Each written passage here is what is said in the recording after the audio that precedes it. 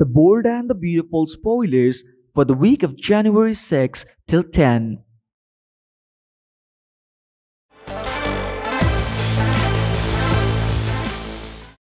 Welcome to our channel and please subscribe and hit the bell icon for updates on the daily spoilers of The Bold and the Beautiful. As the new week begins, Steffy Forrester will have a surprising offer from a new Forrester hunk named Colin, who will ask her out for a romantic date this week. Steffy will indeed be flattered by this move, but as the spoilers suggest, Thomas has something else on his mind for Steffy. But first, let's talk about Liam Spencer and his next showdown with Thomas. Things are certainly heating up between the two men as they are fighting over Hope Logan again.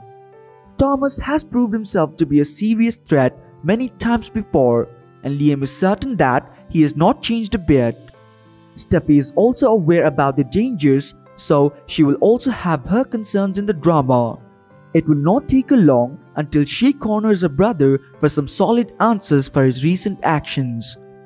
Despite this, Thomas will continue planning his dirty deeds once he manipulates Team to have a little shocker in the later times.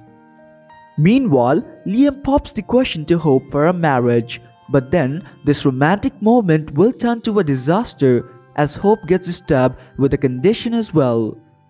She would not like this even a bit, and the proposal will happen after Thomas makes his threat to Liam. So, his condition for marriage may include pushing Thomas away from Hope's life for good.